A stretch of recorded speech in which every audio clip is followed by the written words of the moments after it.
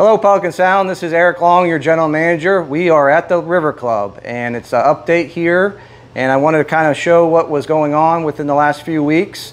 Uh, we've had record high temperatures here in southwest Florida. Uh, it's def definitely hot and sticky, uh, but you can see right behind us we are continuing with the boardwalk replacement. Uh, so a lot of uh, good work is being completed at this time. Again, this is the composite material similar to what we have on the boardwalk side.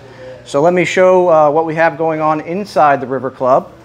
Hello everyone. Again, uh, I just want to kind of go over what's going on within uh, the River Club. As you can see right over to our right over here, you can see that uh, we have a large uh, hole uh, and that's where we're getting a lot of our mechanical, electrical, plumbing conduits within this space.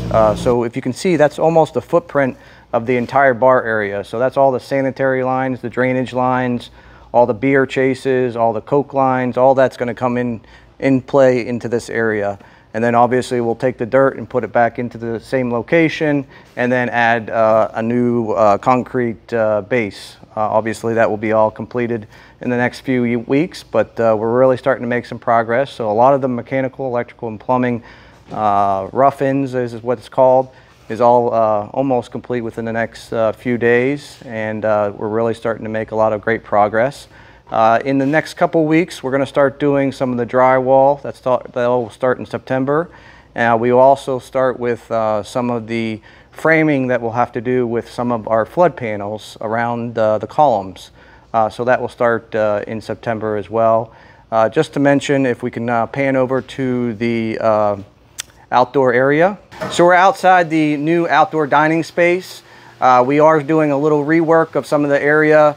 You can see over here we're going to move the uh, grease trap area and that's going to go towards the uh, uh, bed area in the front uh, where you won't see it.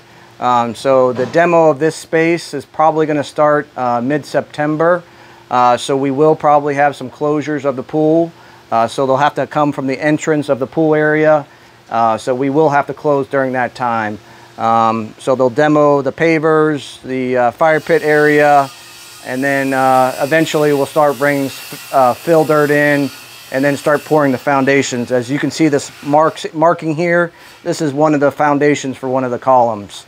Uh, so we're really starting to make a lot of great progress and uh, I'll keep you updated as things progress. Obviously, a lot of the timeline has been adjusted here and there. Uh, we do have the steel shop drawings for this outdoor area and we're just waiting on uh, final approval so that could be submitted so they'll start making the fabrication of the steel. Uh, it does look like we've made up a couple weeks as far as uh, the steel and uh, we are still on time and on budget so all is well here at Pelican Sound. Thank you very much.